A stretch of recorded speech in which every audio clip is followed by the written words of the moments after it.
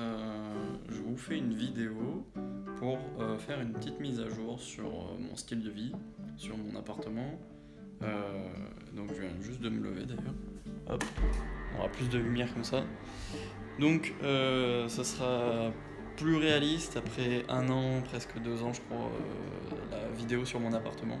Ici je stocke une chaise et une table basse que moi-même je fabrique. J'ai évidemment un vélo pour me déplacer, une autre chaise que je stocke, pareil, qu'il faut que je répare d'ailleurs, quelques tabourets pareil que je fabrique, un bureau on va dire que j'ai moi-même fabriqué, où là c'est des prototypes, et une étagère pareil euh, que j'ai fabriquée, une autre étagère que j'ai fabriquée pareil, euh, et donc avec euh, plusieurs objets, une autre étagère murale là-bas que j'ai fabriquée. En fait, euh, c'est euh, absolument tout le contraire de ce que j'ai expérimenté dans la vidéo euh, sur mon appartement minimaliste. Une fois rangé, euh, voilà à peu près ce que ça donne. Euh, D'ailleurs, je vous avais pas montré ça au début de, de vidéo aussi, que j'ai imprimé avec euh, mon imprimante 3D, euh, des patères. C'est pas forcément rangé, hein. je vais pas vous ouvrir le placard. bon, je vais quand même le faire pour juste vous montrer que j'ai une imprimante 3D euh, installée ici. Euh, et les vêtements qui sont rangés euh, par bac. Alors je vous ai pas montré euh, la salle de bain depuis le début, qui a bien changé. Alors je passe ma main derrière pour allumer. Donc c'est un- une branche que je mets, je pose ici pour faire un peu de musculation. Et donc j'ai fait un étendoir avec des pièces imprimées en 3D encore une fois. Et puis là je lave mes vêtements à la main dans ce bac. Et donc voilà, donc ça c'est pareil, c'est aussi un tapis que j'ai fabriqué moi-même.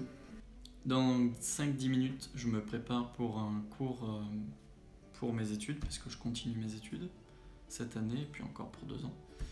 Je voulais te montrer juste euh, là, encore une autre, euh, objet que j'ai fabriqué, donc c'est une planche à découper. Et puis surtout, pour dire un petit peu la vérité sur cette vidéo d'appartement minimaliste, qui fait en fait pas mal de vues. Il n'y avait vraiment aucun objet, mais parce que j'avais aussi pas mal de stock en fait chez mes parents. Donc c'était pas vraiment réaliste, et là, ce qui va être intéressant dans cette vidéo, puis par la suite sur cette chaîne YouTube, c'est que vraiment j'ai plus rien chez mes parents. J'ai donc un garage où je stocke et j'ai mon atelier.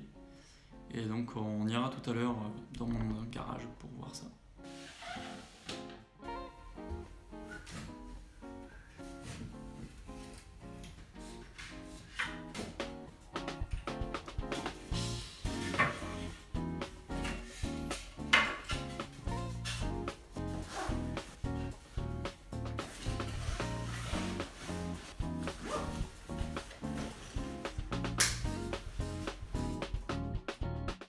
Qu'est-ce qu'on a dans le garage? On a un autre vélo, les tabourets que je, enfin, que je fabrique, plein de prototypes parce que voilà, c'est mon métier de faire du design, donc j'ai besoin de prototypes. Là, c'est des matériaux, on a du merisier, du bois.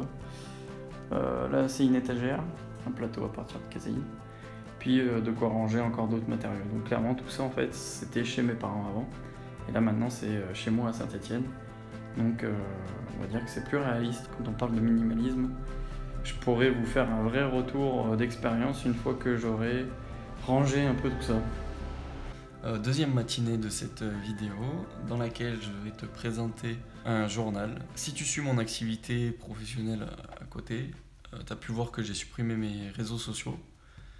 Et donc en fait je me lance le défi de développer une activité économique en ligne sans les réseaux sociaux. Donc ça va être un test total pour continuer à avoir une source d'information quand même. En fait, j'ai choisi euh, un journal qui s'appelle Vert et je reçois euh, à la fréquence que je veux une lettre euh, d'information sur mon, ma boîte courriel dans laquelle j'ai des informations concernant l'écologie.